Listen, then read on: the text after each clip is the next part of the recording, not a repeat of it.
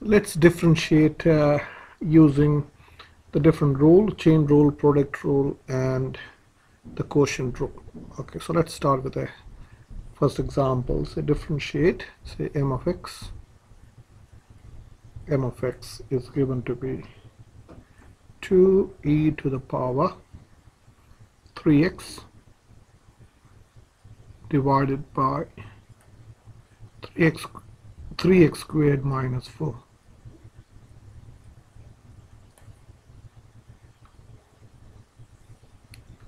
so you can pause this video and try to do it yourself.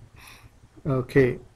So how you differentiate this? So it's a good uh, practice to see what are the rules that we're going to uh, apply. So in the numerator you've got 2 times e to the power 3x and the denominator is this. So I think we have to use the chain rule to differentiate the numerator and then to differentiate the whole function we have to use the quotient rule. So we have to use the chain rule and the quotient rule. Okay quotient rule. So let's differentiate this. So m dash x. So let's write the quotient rule first. So that is d by dx of the numerator which is 2e to the power 3x times the denominator which is 3x squared minus 4 this is just writing the quotient rule mi minus d by dx of the denominator which is 3x squared minus 4 times the numerator which is 2e to the power 3x divided by the denominator squared. So that is 3x squared minus 4 the whole squared. So so now differentiating uh, one by one. So differentiating this we have to apply the chain rule. So this is 2 times differentiating 3x would be 3 times e to the power 3x that's the differentiation of this function times 3x squared minus 4 as it is. Take away. Differentiating this would be 6 6 6 6 times 2 e to the power 3x divided by the denominator squared which is 3x squared minus 4 the whole squared.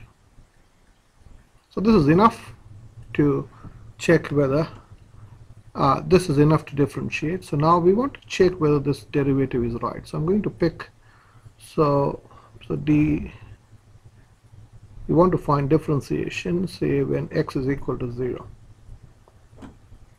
so let's put this x is equal to 0 in this in this uh, derivative. So this is going to be 6 2 times 3 is 6 e to the power 0 is going to be 1 so this is going to be 6 times what? If we put 0 here this is going to be negative 4 minus this is going to be 0 because 6 times 0 is 0 so that's going to be 0 divided by this is going to be 0 minus 4 squared which is 16 so the derivative has to be minus 24 over 16. So let's use a calculator. Okay, so let me get my calculator out. So so let's go and go minus 24 divided by 16 which is minus 1.5 okay now to check this check this what you do is go to a table menu. We know it is minus 1.5 type in the function so which is 2 shift e raised to 3x like this.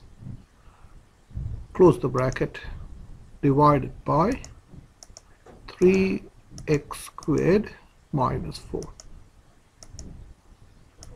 and the only thing that you have to do is you have to check the differentiation or the derivative has to be on. So turn it on and go to your setting. It should be from 0 we want to find the derivative when x is 0 here we go. So when x is 0 the differentiation dy by dx is minus 1.5 so the answer is right. Okay. So the answer is right